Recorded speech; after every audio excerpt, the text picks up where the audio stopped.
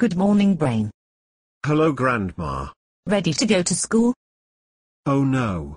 I have not a lunch, and I still grab my school and. You will not to school, right? Oh yes. That's it. Go to school, then you are the fastest since.